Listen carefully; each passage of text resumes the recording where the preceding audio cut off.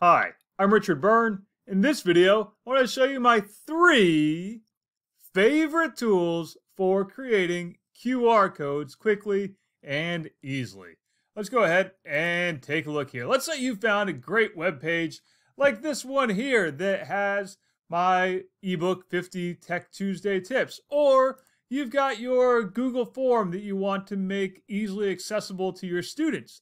If you're using Google Chrome, a really easy way to generate a QR code is to simply click on the little share this page button and you will find a QR code right there that you can download and put wherever you would like.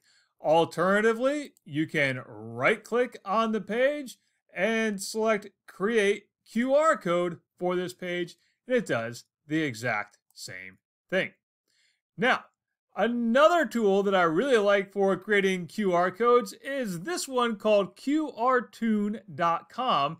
And let's go ahead and take a look at it right here. So let's say we have this page and I want to create a QR code for it. Well, let's just paste that link in, click next, and now you can select a photograph to be the center of your QR code I'm going to select a photograph right now of myself, and we'll use that one as the center of my QR code. So I have a bunch of selfies of myself, and let's go ahead and add that in to the QR code, and like it says, it's going to be a cartoonized version of myself at the center of that QR code.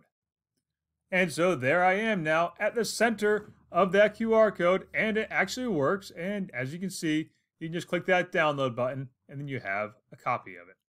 Now, a third option is QR Code Monkey, and this one has the most options for customizing your QR codes of any of the three here. And again, let's go ahead and take this link, and we're going to put that link right in there. And you can then change the colors.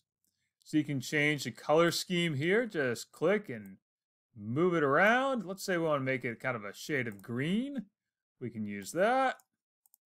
And our background color, we can make reddish if we wanted to. You can add a logo or add an image if you want. Okay. And you can see right here, it's saying, oh, we recommend giving using more contrast. Okay, that's not dark enough. Let's put it back there. Make it really dark again. Okay. And we can, again, add our logo image here. Want to upload a logo? Great, you can. Otherwise, leave it as is. You can use this option to customize the design of it. So we want to frame it up a little bit. Let's use that little frame. And now let's create that QR code. And so there's our new QR code design. You can see here, you can change the size of it. Let's make it a little lower quality, create that QR code, and then you can download that as an image file for your customized QR code using qrcodemonkey.com.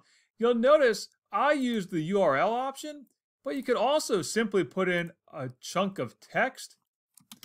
This is a sample piece of text. And then we'll create a QR code and we'll change the colors again. Let's change out that color scheme. I want to use blue here.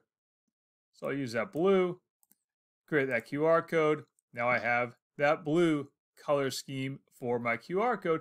And when it's scanned, all that will appear on the person's phone is this is a sample piece of text. You can do that for all these other options that you see up here. Even a great way to give out the information for connecting to the Wi-Fi network in your school, in your house, or elsewhere. So those are my three favorite tools for creating QR codes quickly and easily. As always, for more things like this, please check out freetech4teachers.com or subscribe to my YouTube channel.